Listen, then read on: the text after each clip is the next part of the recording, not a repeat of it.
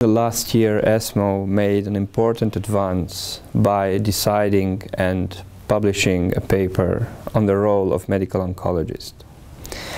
Why this paper was needed? I think we are now seeing a paradox in medical oncology in that as our knowledge advances and we understand more and more about the disease, sometimes our treatments get simpler. And you can get into the position of giving a pill to the patient for a very complicated disease, treatment seems very simple and the patients get better.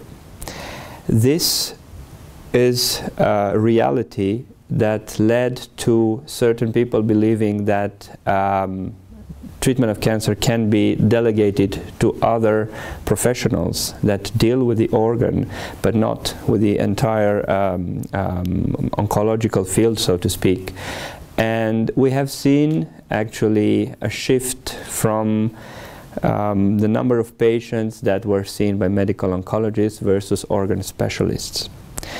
We believe that uh, the complexity of medical oncology is such that indeed treatment can be simple, but the decision of when to give that treatment how to integrate that with the other modalities such as surgery, radiation therapy, and to treat the patient as a whole is very important. This is part of what the medical oncology training is providing.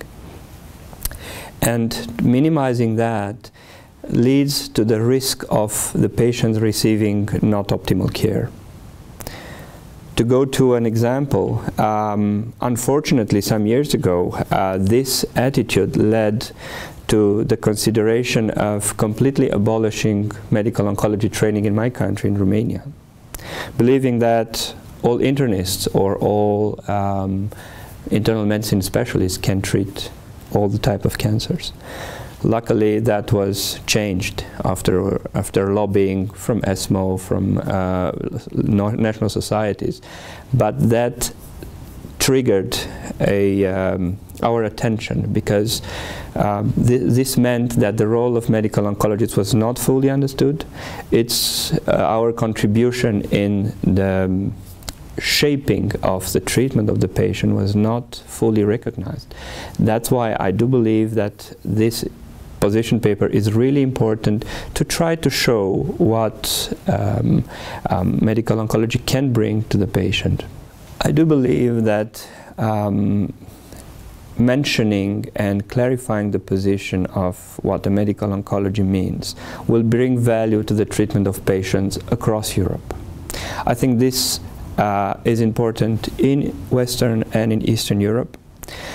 As chair of the Emerging Countries Committee, um, I am fully aware and I'm paying more attention to the situation in, in this part of, the, of Europe.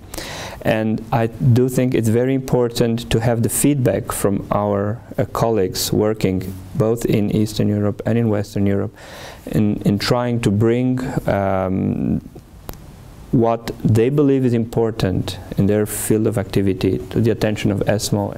Uh, the ESMO National Representatives Committee has played a tremendous role in highlighting some of the discrepancies existing between the countries, highlighting uh, potential solutions, and I would say that this um, gathering of uh, people uh, has been the source for a number of very important projects that ESMO is now developing. I'm convinced that the work of the ESMO National Representatives Committee and the ESMO Emerging Countries Committee is very important and actually changed the way ESMO is acting at the international level. What I can see is that um, ESMO is becoming now a more of a player usually we were more involved in uh, producing protocols and uh, trying to set up guidelines, which is still a very important educational component of what ESMO is doing. But as a result of input received from the ESMO Emerging Countries Committee, from the ESMO national representatives, ESMO is entering the field of trying to really change things. And for that I am uh, very grateful for what the ESMO national representatives are doing and the ESMO Emerging Countries Committee.